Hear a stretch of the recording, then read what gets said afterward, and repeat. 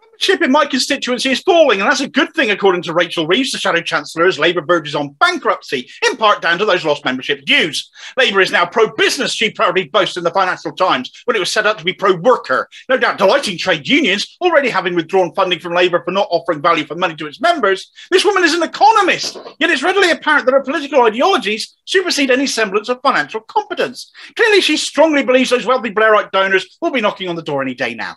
Any day now. Rachel Reeves believes 200,000 members leaving her party is a good thing because, in her mind, they're all racists and anti Semites. And it's a clear sign the party has been cleaned up by Keir Starmer. Bitterly ironic since one of her political idols was the racist MP for Berlin, Nancy Astor. She thinks this is a good thing because these people were entryists and should never have been allowed to join the party. Yet we've all seen the stories of people being suspended or expelled, even retrospectively. We've seen this done to people not just attracted to the party by Corbyn's transformative agenda, but many who have been members longer than Reeves has even been alive.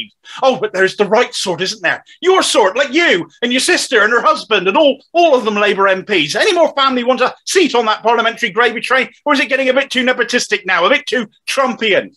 These entryists don't share Labour values, but let's get this right because what she really means is they don't share the Labour rights values, her values, and their crime is to have been socialists. Your values, Rachel, are believing we should be tougher on benefits than the Tories, ditching popular policies that have changed lives for the better in favour of none at all, pledging to stick to Tory austerity. There's still laughs at the idea of free broadband when the value of that during the pandemic became obvious, that blames the party's current financial woes on the previous leadership, which actually left the party £13.5 million in the black, and which Starmer and Evans have blown, that makes so much of dealing with racism, it is delaying the Forde report yet again, a determination to keep Jeremy Corbyn out, but admits a Tory MP, no questions asked, who voted to dump sewage in rivers, voted to turn migrants around at sea, cut the £20 uplift from universal credit claimants, further impoverishing them, and who voted to take away people's right to protest, and who may have breached lockdown rules to party as well if a photo during the rounds turns out to be authentic.